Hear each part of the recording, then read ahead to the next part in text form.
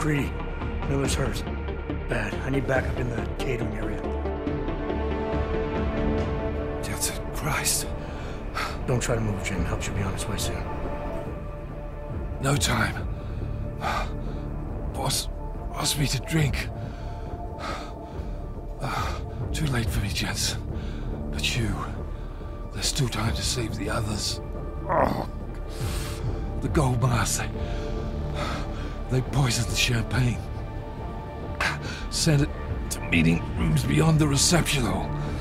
Oh, I tried to stop them, but I ended up here. Forced you to drink... the orchid. I have the antidote. What? How did... There's still time. No. No, for, forget it. Not worth wasting on just one life. The others might need it.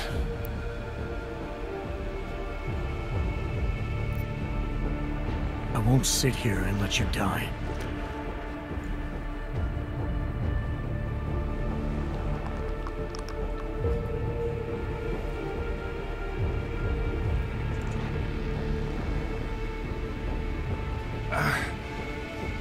Disobeying orders.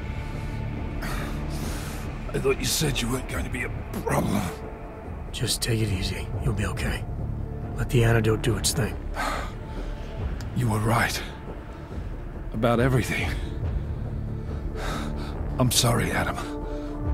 That's not important now. No, it is.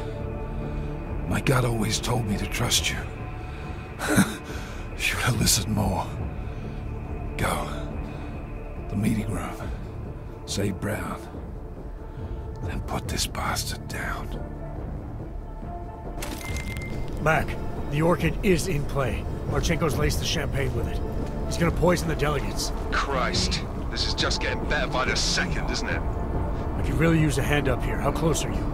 At the rate I'm having to crawl around this